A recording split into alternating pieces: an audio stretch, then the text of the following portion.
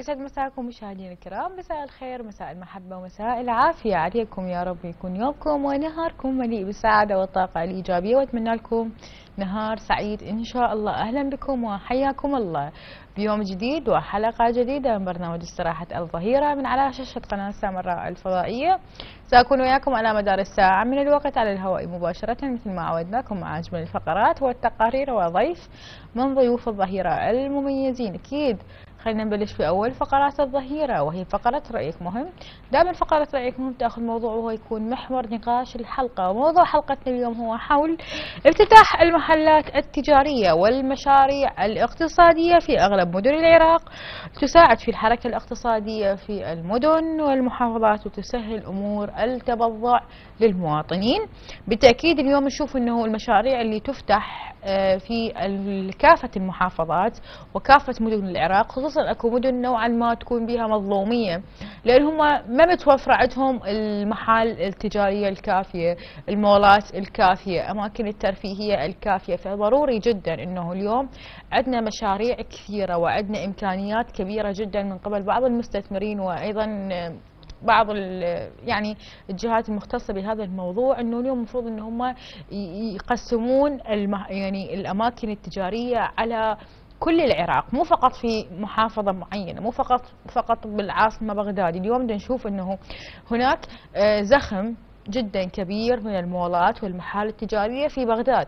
اليوم أي مساحة فارغة نشوف إنه هي المساحة انهدمت أو مثلا بناية غير مسكون بها نشوفها إنه هي انهدمت وصارت يا أما مول يا أما محلات تجارية. طيب إنه هذا الزخم اللي يصير داخل بغداد يسبب أزمات آه اقتصادية ببعض المحافظات. ثانيا يعني بصراحة إنه يسبب ازدحامات خانقة. في نفس الوقت أكو بعض المدن والأقضية والنواحي والمحافظات بها قلة من المحال التجارية والمولات. فضروري جدا اليوم إنه إحنا نوزع هذه المحلات وأيضا المولات والأماكن التجارية واللي تسبب حركة اقتصادية بالمك بالمحافظة أو بالمدينة توزع على جميع محافظات ومدن العراق مو فقط في منطقة معينة. لأنه هنا مو فقط إنه اليوم التاجر أو المستثمر راح يستفاد من هذا المشروع. حتى أبناء هذه المدن ممكن ان هم يفتح لهم باب رزق لأنه أكيد اليوم يعرف إنه أي محل تجاري كبير أو أي مول موجود أو أي مكان يكون نوعا ما آه، واسع من ناحية المساحة وأيضا بعدة أماكن يعني وعدة محلات ممكن إنه هي تشغل يد عاملة. إحنا اليوم عندنا يد عاملة بنسبة جدا كبيرة. وأيضا يعني ممكن إنه إحنا نحتاج إلى يد عاملة في هذه المحلات التجارية. وأيضا يعني ممكن تحل أزمة بعض الشباب، طبعا إحنا لا ننسى اليوم إنه نعايد كل الطبقة الكادحة من العمال آه، في آه، عيد العمال يوم 2 5 يصادف عيد العمال. أكيد آه، يعني يتمنى لهم الصحة والسلامة والرزق الوفير وكل عام وأنتم بألف خير. مشاهدينا الكرام أكيد ما زلنا مستمرين لكم لكن عندنا انتقال إلى تقرير من قضاء بلد مع الزميل علي الربيعي. حول هذا الموضوع خلينا نروح نشوف وبعد أكيد راجعين وياكم.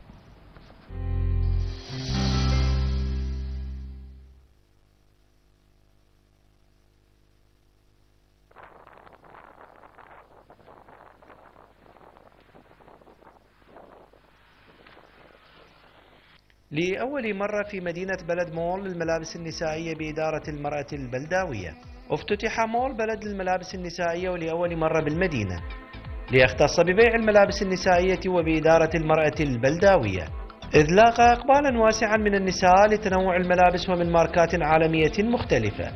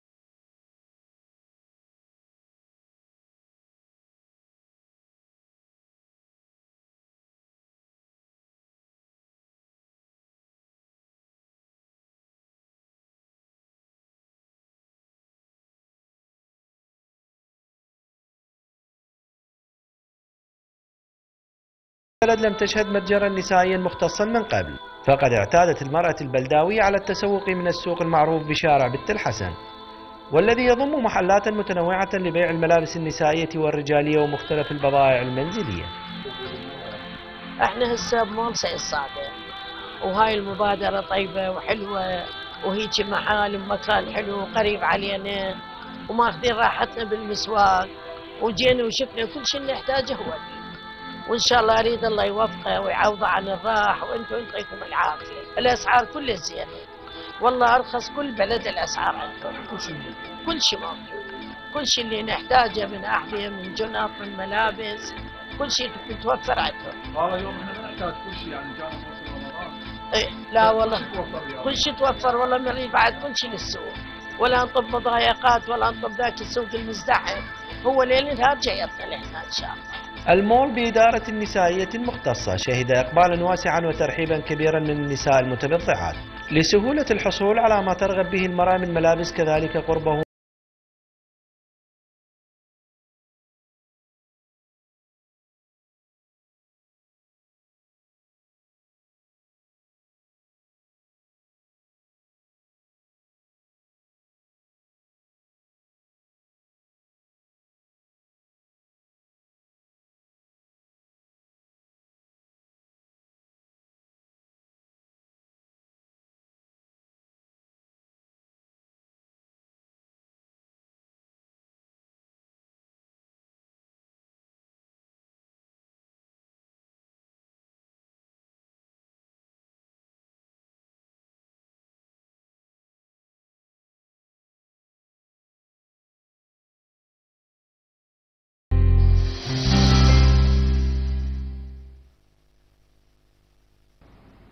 شكرا للزميل علي الربيعي على هذا التقرير اللي عندنا من قضاء بلد. بالتأكيد اليوم شفنا آراء المواطنين إنه اليوم آه، هاي المدن آه، تشوفها إنه يعني هذا التغيير العمراني اللي بيها أضاف شيء لهذه آه، المدن وهذه المناطق.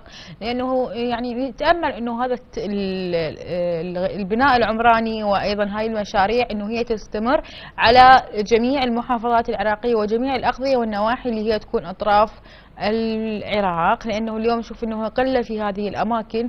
اليوم إنه ممكن إنه بعض العوائل إنه تضطر تروح للأسواق الشعبية. يعني ممكن إنه هو تكون الأسعار أرخص نسبيا من المولات لكن يعني مثل ما تعرفون إنه يكون سوق شعبي وأيضا ممكن إنه هي تتعرض للتحرش تتعرض لهذه الأمور. يعني بالتالي إنه هاي الأمور ما تشوفها ولا تصادفها قلة جدا. في المولات آه، وفي الأماكن التجارية الكبيرة لأنه بالتالي هاي أكيد الأماكن راح تحتوي على سكيورتي وعلى كاميرات آه، مراقبة فتكون هذه الحالات جدا مقلة في هذه الأماكن. لكن إنه إحنا نتمنى إنه آه، هاي التغييرات العم- العمرانية اللي دا يصير وهذا البناء وهذه تجديد البناء التحتي إنه هو يظل مستمر. لأنه بالتالي هذا راح يضيف إضافة جدا جميلة إلى جميع المحافظات. راح تكون كل محافظات بها عمران وبها أماكن تجارية وأماكن ترفيه حتى المولات اليوم إنه إحنا دا نشوف إنه هي تحتوي مو فقط على الملابس هي تشوفها متنوعة من كل احتياجات آه، البيت وحتى الرجال والنساء والأطفال والبنات والشباب لكل الأعمار وحتى مفارش وحتى أمور المطبخ وهاي التفاصيل اللي تحتاجها المرأة بالبيت. بالمقابل ال- اليوم نشوف حتى أكو آه، أماكن مخصصة للعب الأطفال. فبالتالي اليوم إنه لأي شخص إنه يخاف على أطفال إنه يوديهم أماكن عامة أو مثلا يعني إنه يريد يتبضع وأيضا ما عنده يعني أحد يكون ويا أولاده. ممكن إنه هو يخليهم بالمكان المخصص للأطفال ويكمل تبضعه أو تكمل آه، مستلزمات آه، اللي محتاجتها المراه بنفس الوقت اليوم نشوف إنه هاي الأماكن وفرت فرص جدا عمل جدا كبيرة للشباب وللشابات. اليوم إحنا نشوف إنه نسبة جدا كبيرة من الشباب والشابات اللي هم متواجدين داخل هذه الأماكن ال- التجارية. بالإضافة إنه اليوم نشوف إنه أكو منهم خريجين ممكن هو يكون انه عنده مشروع خاص به أو فكرة معينة بالتالي اليوم هذا المكان راح يهيئ له التحقيق هدفه. لأنه أكيد نعرف إنه اليوم أي شخص عنده مشروع في باله وممكن إنه يريد يفتح محل خاص به يحتاج لكثير من المصاريف وأيضا يعني يتبعها كثير من التفاصيل ويحتاج لها مبالغ مادية جدا كبيرة. لكن هاي اليوم المحال التجارية والمولات تتيح الفرصة لهم يعني توفر لهم الكهرباء وبعض المستلزمات الخاصة وأيضا مكان يعني المحل أو مثلا يكون المكان الصغير ممكن هو يستأجر من المول نفسه راح يكون له يعني شلون يعني دافع وأول خطوة تكون ناجحة في سبيل إنه هو يفتح مشروعه. دائما نشوف إنه إنه أغلب الناس هي التجاءها إلى هذه الأماكن فممكن إنه يكون له أكيد باب رزق ويربح المشروع الخاص به. لكن اليوم ضروري إنه من أي شاب أو شابة إنه هو إذا ممكن إنه هو يكون خريج أو تكون خريجة لا تستنكفون بالعمل بهكذا أماكن. لا تستنكفون من العمل بأي مكان مو فقط بالمولات التجارية. لأنه اليوم نشوف إنه يذكر إنه أني خريج كذا كلية وكذا اختصاص ما معقوله إنه أني أشتغل إنه بمول أو أشتغل آه، يعني بائع لبعض المنتجات بالعكس بالتالي هو العمل عبادة والعمل مو عيب سواء كان للرجل أو للمرأة. لكن العمل يكون بشرف ووفق حدود ووفق ضوابط بالتأكيد إحنا ما نقدر نتجاوزها لكن ضروري اليوم إنه الشاب أو الشابة إذا ما لقوا تعيين إنه يشتغلون ولحد ما آه، أكيد بيوم من الأيام إنه راح تصادفكم فرصة إنه أنتم آه، يعني تكملون آه، حلمكم وتشتغلون باختصاصكم الدراسي. مشاهدينا الكرام هذا كان موضوع حلقتنا لهذا اليوم من خلال فقرة رأيكم. وهم راح ننتقل وياكم إلى فقرة أخرى من فقراتنا وهي فقرة مبدعين.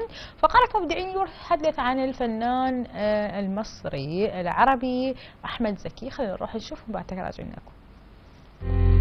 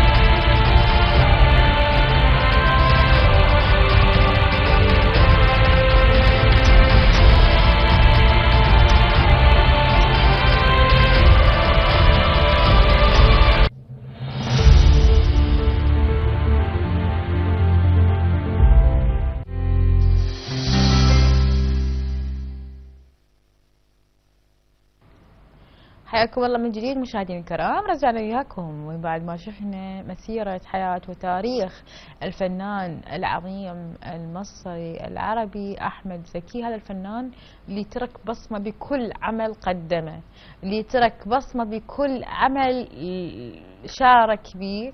اليوم نشوف هاي الفنانين اللي لهم واع كبير بمجال التمثيل والدراما والإخراج وأيضا تقديم البرامج.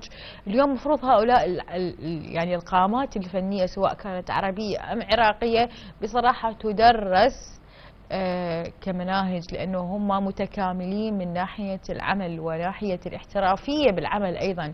اليوم مو عيب أنه الممثل إذا كان مبتدئ أنه هو يتعلم من آه، غيره سواء آه، يعني كان ممثل قديم أو حتى جديد لكن إلى فد آه، تاريخ جدا عريق في مجال الدراما.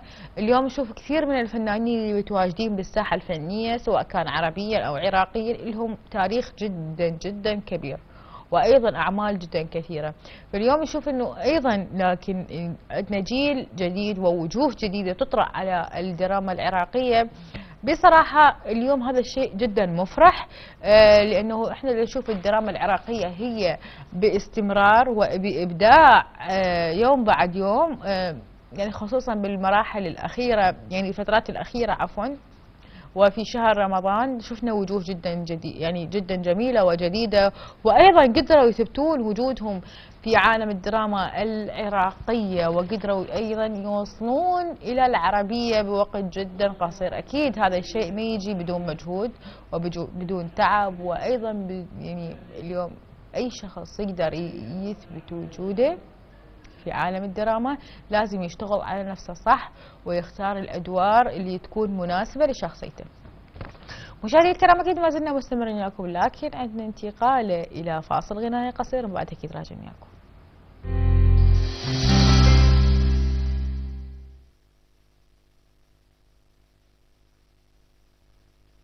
حياكم الله من جديد مشاهدينا الكرام هاي عودة وياكم من جديد من بعد هالفاصل الغنائي الجميل وأكيد ما زلنا مستمرين وياكم لكن وصلنا إلى فقرة خطار الظهيرة وخطار الظهيرة وضيفنا اليوم في الاستوديو الكاتب ومدرب التنمية البشرية علي رحمن عبد نورتني أستاذ علي ومساء الخير والعافية. الله يسلمك. حياك الله. أستاذ علي راح نتحدث عن الهوية الوطنية؟ أي نعم اليوم موضوعنا طبعا مهم. بالوقت الحالي عن الهوية الوطنية. نعم. لأنه نشوف شبابنا مو بس الشباب يعني بالعموم نعم. المواطنين يفتقرون الهوية الوطنية وانتمائهم للبلد. أول شيء إحنا نعرف الهوية الوطنية شنو. الهوية الوطنية هي لكل آه، بلد أو أمة خصائص وسمات تتميز بها. نعم. آه، خصائص وسمات تم- تتميز بها من خلال هذه الخصائص آه، تشعر من خلالها الانتماء لهذا الرقعة الجغرافية تنتمي إليها أو للأمة. نعم. الهوية مهمة بخصوص آه، ال- الأمم أجمع. آه، من خلال الهوية ترتفع شأن الأمة ومن خلالها تتواسى بالعدم. للهوية خصائص. يعني خصائص مهمة. مثلا عندك آه، من خصائصها آه، الرقعة الجغرافية. آه، من المهم إنه إحنا الأمة لها حدود دولة أو حدود قارة. هاي تختص الهوية تخصص الهوية. آه، يشترك بها كل الأفراد الساكنين بها يكون هوية هويتهم وحدة. نعم. عندنا التاريخ.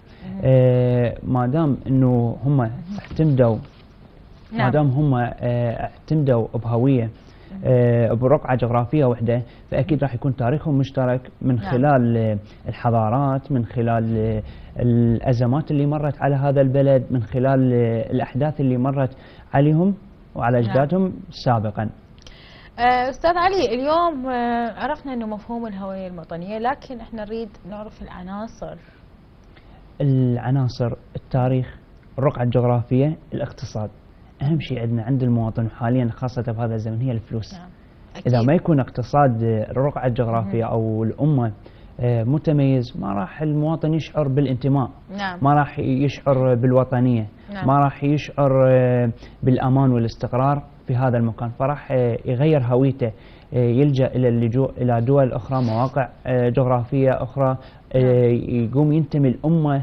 مستقرة اقتصاديا ماليا نعم. أكثر. مثل ما شفنا بالأزمات الاقتصادية صارت نعم أهو. أكيد إحنا نعرف إنه اليوم إنه ال- الانتماء للوطن شيء جدا جميل وأيضا آه، دائما نشوف إنه العراقيين لهم في ترابط روحي مع العراق أكيد. ومع ال يعني الانتماء لهذا البلد والروح العراقية اليوم نشوف إنه حتى صعبة على بعضهم إنه هو يكون مغادر خارج العراق لفترات طويلة هذا ال- السبب نعم. آه، أو الأمر اللي خلى هاي التماسك هي آه، ميزة آه، الرقعة الجغرافية مالتنا آه، العراق موقع الجغرافي المميز. هاي نقطة. النقطة الثانية الأحداث التاريخية المميزة والحضارات اللي مرت به نعم. تاريخها عريق حضارات عديدة سكن به أولياء صالحين نعم. وآل البيت عليهم السلام. يعني فهذا الشيء له تأثير إيجابي ومباشر على المواطن. نعم. يعني ف ونقدر نقول إنه سلالة واحدة نعم. يعني نقدر أكثريتهم ينتمون إلى سلالة واحدة مو متعددين الجنسية مهم. فهذا السبب اللي خلى إنه عندنا وطنية واحدة انتماء واحد أستاذ علي دائما نشوف إنه إحنا يمكن من أكثر البلدان اللي هو يكون متعدد الطوائف والأديان اليوم لكن في نفس الوقت نشوف أكو تآلف والفه جدا عجيبة بين هاي الفئات المختلفة. تقريبا إحنا أكثر بلد بالعالم متعدد يعني بس لكن يعني نشوف إنه أكو تآلف ومحبة وسلام بين أفراد الشعب العراقي. اليوم شلون يعني من خلال حبهم لل- للبلد أم من خلال السلام الداخلي اللي موجود بداخلهم آه، هاي امور ترجع آه، اولا ال- الرابط الديني. نعم. هاي أهم نقطة التزام الديني. بلد مسلم النقطه الثانية آه، التاريخ العريق لهذا البلد نعم. يعني السلام والأهم من هذا إنه آه، صار آه، الأهم من هذا إنه ال- الحروب تعرض لها هذا البلد فمن خلال الحروب راح يكون تآلف راح تزيد الوطنية نعم. عند الشخص عندما يدافع عن بلده آه، عندما يضحي عندنا كثير من الشهداء ضحوا من أجل هذا البلد نعم. فهذا السبب اللي خلاهم أنه تكون آه، روح آه، وحدة تماسك ما عندهم تفرقة بين شخص وشخص آخر بين طائفة وطائفة بين مذهب ومذهب نعم. فهنايا كان للديانة أولا وللظروف الصعبة تماسك ودور مهم. طيب اليوم شنو أهمية الحفاظ على الهوية الوطنية؟ و... آه، أهمية تعزيز الأمن يعني أكيد هو لما نحن آه، نطلب من الواط- آه، من المواطن الهوية الوطنية وانتمائه وإخلاصه نعم. للبلد لازم إحنا نوفر له الأمان العدالة نعم. الاقتصاد هاي للبلد وأهم شيء الأمان عدم التفرقة حق العمل حق الرأي فهاي الأمور كلها راح تشجع المواطن آه، على الانتماء للبلد. نعم. آه، وللهوية تكون عنده أقوى. و- والأهم من هذا حاليا الاقتصاد والتطور. عندنا نشوف العالم آه، سرعته فائقة بالتطور. لازم من الحكومات تطور نعم. تطور باستمرار مثلا.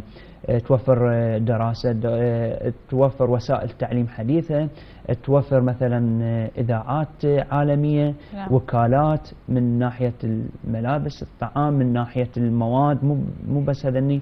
يعني من كل النواحي لازم توفر تتطور نعم طيب أستاذ علي هسه آه، بما أنه أنت مدرب تنمية بشريه وأيضا كاتب الانتقال إلى التنميه البشرية قله من الناس تعرف شنو مفهوم التنمية البشرية؟ يعني ما عندهم الوعي الكافي حول هذا الموضوع فريد فت يعني فالشرح مبسط يكون آه، حول آه، التنمية البشرية. التنمية البشرية من قواعد الحياة الأساسية المهمة واللي أهم شيء بالتنمية البشرية هو الدين الإسلامي. نعم. سيدنا النبي عليه الصلاة والسلام عليه وصحبه والسلام. آه، حثنا على التطوير.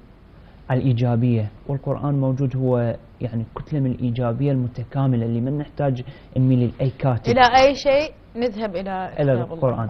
آه، فالتنمية شرط أنه يعني من ال... بالنسبة إلي المفروض تدخل بالتعليم نعم. بالابتدائية. تن... تنمي البش... آه، تنمي الإنسان من ناحية التصرفات من ناحية أسلوب الدراسة أسلوب التعامل. هاي هنا تنمي آه، فن الكلام والأحاديث كلها. نعم. هاي لها دور التنمية. أستاذ علي أنت ذكرت لي أنه آه، يدخل في المراحل الدراسية لكن نشوف أنه بعض التعاليم ال- ال- الدينية اللي آه، موجودة بكتاب الله آه، المقدس والقرآن الكريم هي حرفت. واليوم نشوف أي عالم يجي أنه هو يفسر الآية الفلانية حسب قناعته هو. هذا سبب يعني شلون أقول ماكو متابعة ماكو رقابة. لو كانت أكو رقابة نعم كان ما حد تجرأ وصارت هكذا أمور آه، نقدر إحنا نعتمد على أشخاص موثوقين نعم. آه، على مراجع دينية ثابتة نعم. على كتب دينية مم. على القرآن الكريم يعني يكون اعتمادنا على القرآن الكريم والحديث النبوية القدسية بالتأكيد. الموضوع. طيب اليوم شلون تساعد الإنسان تطور نفسه كتنمية بشرية حسب المجال اللي هو محتاجه في بعض الأحيان يكون مجرد آه، آه، شلون نقدر نقول حالة نفسية. نشوف أول شيء نشخص شنو لها اللي علاقة بقانون الجذب؟ جذب يعني يعني يوم انه بعض الناس انه يعني تدمج بين التنمية البشرية وقانون الجذب. نوعا ما. بس مو يعني ترابط تام. مو ترابط تام لا مو. ترابط تام.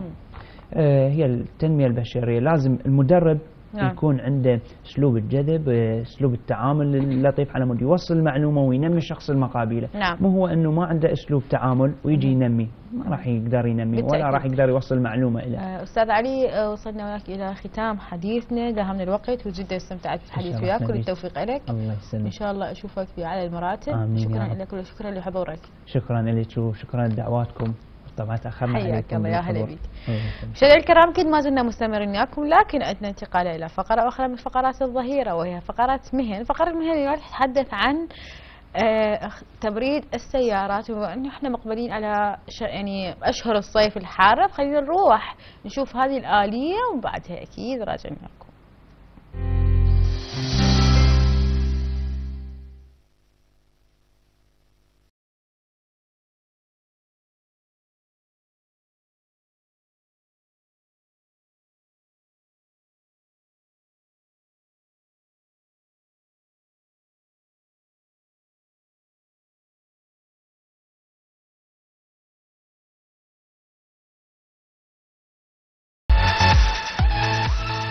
طبعا هي المصلحة.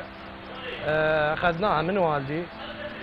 بعدين بدينا حياتنا شوية شوية دراسة وعمل دراسة وعمل. اللي حد ما ضبطنا المصلحة والحمد لله والشكر. آه، صار لنا صيت ولنا زباين. والحمد لله والشكر معروفين وزبائننا تجي من كل المحافظات. طبعا عندنا هسه هاي السيارة شارجر. آه، صاحبها من الحلة والحمد لله بدنا نشتغلها نبدلها فريز. بعد الفحص طبعا يعني بعد ما فحصنا السيارة. آه، عندنا أجهزة حديثة تفحص السيارة. فتبين عندك ليك أو فريز أو أي شيء بالسيارة. طبعا الفحص والشحن هذا كله أجهزة حديثة. آه، فتح دشبول آه، كادر هندسي خاص يفتح يشد الدشبول وبيه ضمان ينطي. هاي كل السيارات عامة الحكي مو بس شارجر. والحمد لله والشكر. وغاز طبعا أحسن الماركات الغاز بدنا نجيبها بالسوق. هسه عندنا الشارجر 134 بدنا نستخدمه الأصلي 1134 1200 1234 وأكو غاز أكو غاز يجي غير هذا. هذا الغاز إذا نديره اللي عادي يقوم المنظومة أول شيء يقوم الفريز يعني ما يطول. برودته مو قوية نفس الغاز الأصلي اللي هذا لأن هي أرقام. الشركة لما مخليت لك أرقام لازم نشتغل عليها. أكو ناس تشتغل تدير غاز أرخص هو صحيح أرخص بس ما يمشي. هذا راح يتعب المنظومة مال التبريد كلها. بدل ما يخسر خمسة عشرة يخسر بعد كومة فلوس الأسعار طبعا عندنا عندنا الأسعار من خمسين ألف توصل لل 200 دولار. هسه عندنا الغاز المضبوط. سعره 200 دولار. أكو زبائن ما تقدر تقول لك أنا هذا ما أدير الغاز غالي. فننجبر ندير غير غاز. موقف واحد من يومهم فتحنا دشبول وشديناه. ونريد السيارة تشتغل ما تشتغل. زين رجعنا فتحناه لقينا فيشه صغيرة اللي هي رابطة بالعقل ما شاديها هذا الموقف يعني ما أنساه. وبرمضان كان الصايم ما اشتغل السيارة. وهذا الموقف طبعا ما أنساه. إذا يصير أكو عروض بس هو الغاز الغالي يعني ما تقدر تسوي بيه عرض. يعني حتى لو ربحك شيء بسيط زين بس أنت مشتغل. العروض يعني شو أسوي؟ إلا أجيب شيء مو زين شيء رخيص علي وأنا استفاد بيه. بس بنفس الحالة راح أظل أضر صاحب السيارة راح ينضر بهذا الموضوع. وأنا مستفاد.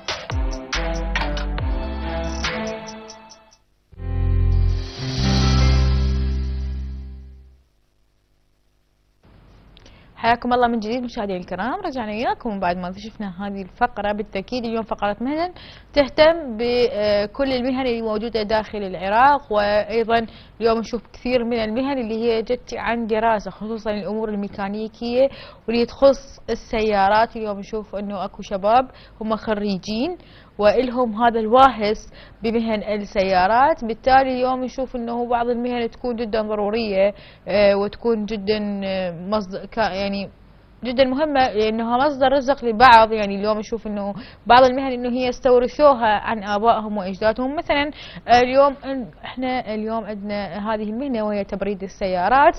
اليوم جدا ضروري إنه بصراحة إنه الشخص إنه يكون دائما فاحص لهذه الأمور اللي تخص السيارة. بصراحه أنا معلوماتي مو كلش قوية بهذا الموضوع. لكن آه، اليوم إنه التشيك اللي كامل لتبريد السيارة وأيضا الاهتمام بها في فصل الصيف جدا ضروري. لأنه إحنا شوية يكون الجو عندنا يعني الصيفي كلش حار وارتفاع بدرجات الحرارة يعني ممكن لا سمح الله الشخص اللي يكون هو ما عنده تبريد أو لأوقات جدا طويلة تحت تأثير أشعة الشمس والحرارة ممكن إنه يسبب له بعض الأمراض. يعني فلتفادي هذه الأمور يا أما إنه هو يرتب وضعه داخل سيارته يا أما هو يكون يعني مأجل أوقات عمله لحد ما تكون شوية إنه الشمس يعني وقت الغروب أو الليل في سبيل إنه ما يتعرض لضربات الشمس وهاي الأمور ال- ال- ال- الحرارية اللي تأثر على صحة الجسم مشاهدينا الكرام أكيد ما زلنا مستمرين لكم لكن عندنا انتقالة إلى فقرة أخرى من فقراتنا وهي فقرة مدن, آه، مدن. فقرة مدن راح نتحدث اليوم عن بحيرة الرزازة وتعد من أحد البحيرات المهمة في العراق من ناحية الخيرات وأيضا توليد الطاقة الكهربائية وأيضا ثروة الأسماك اللي موجودة بهذه البحيرة. خلينا نروح نشوف ومن بعد أكيد راجعين وياكم.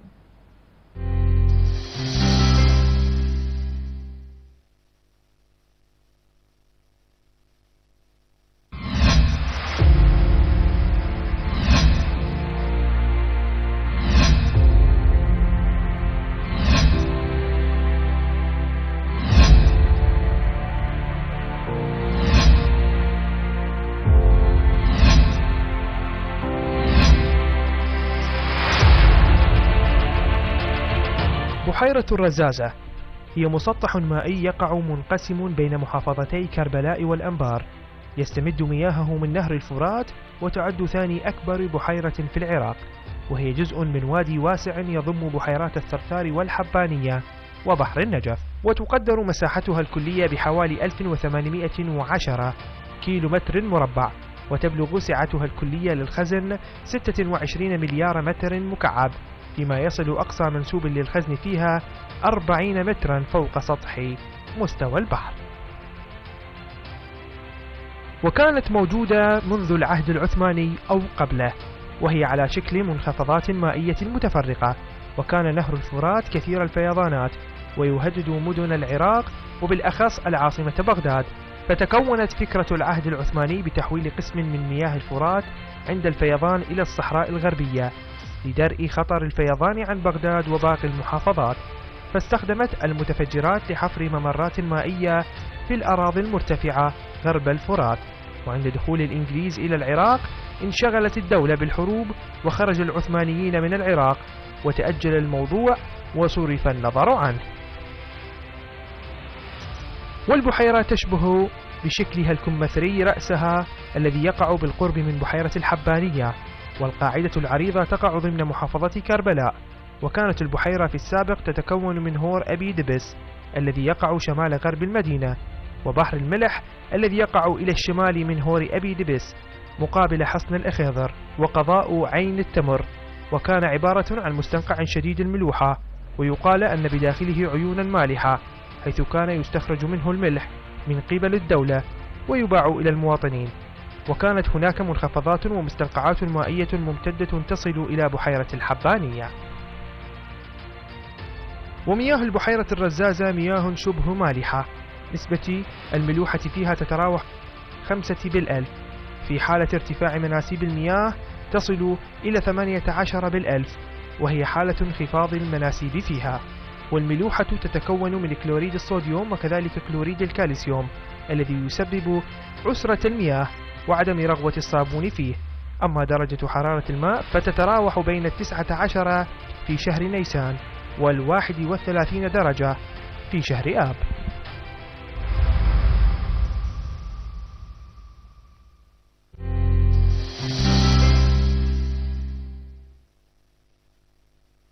هذه عودة من جديد وياكم مشاهدينا الكرام. رجعنا وياكم من بعد ما شفنا بحيرة الرزازة وموقعها الجغرافي وأيضا خيراتها وكل الأشياء اللي محيطة بها وكل الجهات اللي محيطة بها بالتأكيد اليوم العراق غني بثرواته وببحيراته وب نفطه وب حتى بأبسط الخي... بأبسط الأمور إحنا عندنا خيرات جدا كبيرة، اليوم عندنا كثير من البحيرات يمكن الاستفادة منها استفادة جدا كبيرة. هذه الاستفادة ممكن إنه هي تصب بمصلحة المواطن العراقي مثل توليد الطاقة الكهربائية والأسماك وهاي الأمور كلها ممكن إنه إحنا نستغلها استغلال صحيح. في سبيل إنه إحنا نوفر الخدمات الكافية للمواطنين خصوصا المواطنين اللي يكونون هم ساكنين بقرب من هذه المناطق.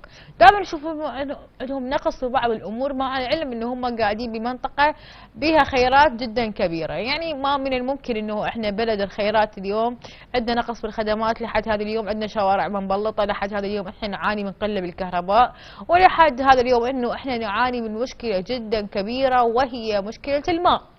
مشكلة الماء اللي بدأت تنحل وقبل يومين تقريبا قرأت على أحد مواقع التواصل الاجتماعي أنه المي اللي موجود في نهري دجلة والفرات لا يكفي لعام واحد. طيب أنه إحنا بلد النهرين. يعني هنا يعني من نقول أنه النهرين يعني تستوقفنا هذه الجملة. لأنه اليوم أكو مناطق ما توصل لها أصلا المي. وأكو مناطق عايشة أنه يشترون المي شراية. طيب وين يروح المي.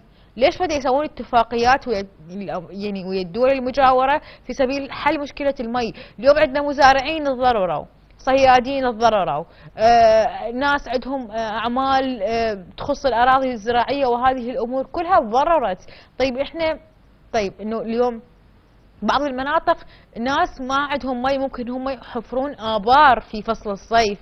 طيب إنه يا متى إحنا تبقى هذه وضعية المي بالعراق؟ ما حد يعرف. فنتمنى إنه تنوضع خطة بأسرع وقت في سبيل إنه إحنا نتلافى هذا الموضوع. وما يصير عندنا كارثة بيئية بالعراق لأنه التصحر وصل لأعلى درجاته للأسف في نهر دجلة وخصوصا الفرات أيضا. فنتمنى أنه يعني نوضع خطة عمل وخطة حل أنه ينحل هذا الموضوع بأسرع وقت وما يضرر المواطن أكثر وأكثر. مشاهدينا الكرام أكيد ما زلنا مستمرين وياكم لكن عندنا انتقالة إلى خت... إلى فقرة أخرى من فقراتنا وهي فقرة حرك نفسك مع الكابتن نوار النعيمي. الكابتن نوار تحدث لنا عن تمرين الدواخل والخوارج. خلينا نروح نشوف وبعد أكيد راجعين وياكم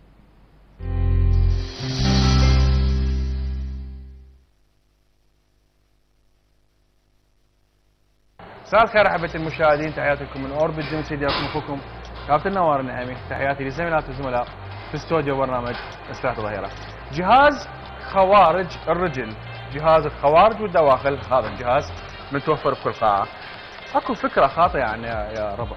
أول شيء هذا جهاز تكميلي. جهاز مو كلش أساسي. جهاز مو كلش قوي. ليش حاطه بالجهاز؟ بالقاعه استكمالة عدد ليش؟ الموضوع مو هيك الموضوع اسمه يخدع. خوارج الرجل. دواخل تتخيلها خوارج كاملة دواخل. لا هو يشتغل على جزء صغير. هذا يشتغل على هاي المنطقة فقط منطقة صغيرة. من تاخذه. يعني كذلك الدواخل يشتغل على منطقة بالإنر تاي الفخذ الداخلي. اذا ما يشغلها؟ هاي عضلة زاوية كبيرة. تشغيلها يحتاج مش تضيق بهواي تمارين. خلينا نبدا أشوفكم إياه. شوف وياي مثل ما تشوف سهل ما يحتاج وزن عالي مبالغ به. تبدي تأخذ بهاي الطريقة. واحد اثنين ثلاثة أربعة. أول خطأ يسوي الناس اللي هو اللي رجوع إلى الأمام. يتقدم للأمام حتى يصير الوزن. لما تقدم الوزن يصير أسهل فتقدر ترفع وزن عالي. والله شنو؟ أصور فيديو. قبض الجهاز ومو فخر اخذ هيك لا عزيزي هناك تلفت الزاويه لازم ظهرك يكون مستند على المصطبة ثم بحركة تفتح نقطة بعيدة ثم ترجع ثلاث أرباع. لا تخليه يطخ ابدا ثم تأخذ. واحد اثنين ثلاثة أربعة خمسة ستة. ممتاز. هنا اشتغلت كلش ممتاز. هيك شيء آه تمرين ينأخذ خصوصا للنساء. جدا ممتاز. لشد هاي المنطقة. لكن دخلنا بجد. الجد هو من نسويه على الخوارج. هنا مشكلة. طبعا هو يجي جهاز كومبو هذا كومبو بس أكو جهازين منفصلين. هنا صار دواخل الرجل. شوفوا وياي الموضوع اختلف وايد. أول شيء هذه خطر. لأن يصير لكم إصابة بمنطقة الفخذ الداخلي. فمن تبدي لازم أول دفعتين تحاول تساعد نفسك حتى مجرد تحمي المنطقة ثم من تشوف الموضوع ايزي تبدي تأخذ بهالسهولة. أنت حاليا قاعد تشغل منطقة الفخذ الداخلي مو كاملة جزء صغير منها. ابدا لا تسوي هاي الحركة شوف وياي هاي هاي الحركة يوقف من فوق حتى يساعد وزن لا تسويه يا ربع خلي أحكي شيء. هواي من التمارين ما تحتاج رفع وزن عالي. هيك أجهزة ما تحتاج رفع وزن عالي. هذا الجهاز يشتغل على العضلات وليس الدهون. إذا عندكم دهون هنا أو هنا هاي تنزل بالغذاء مو بالتمرين. هذه يشد العضلات ويرتبها. باقي ذاق فوقها طبقة مال دهون. انسوا. التكرار المناسب لهذا التمرين ثلاثة في 20 ثلاثة في 25 الخير وما مدت إيده أربعة في 20 يحتاج تكرار عالي. أنا ما أفضل الوزن المبالغ به بهذا التمرين صراحة فقط للمتقدمين والمحترفين. إن شاء الله كم ما طولنا عليكم تحياتي لكم.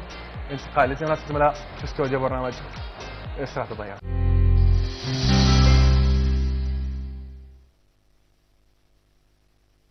شكرا للكابتن نوار النعيمي على على هاي النصائح اللي دائما يقدم لنا اياها من خلال الفقرة الرياضية. مشاهدينا الكرام وصلنا وياكم إلى ختام حلقتنا لهذا اليوم. شكرا لكم على حسن وطيب المتابعة. وشكر خاص لكل كادر العمل وكادر البث المباشر اللي كان مرافقني على مدار الساعة من الوقت. انتظرونا يوم غد إن شاء الله بيوم جديد وحلقة جديدة. إلى اللقاء.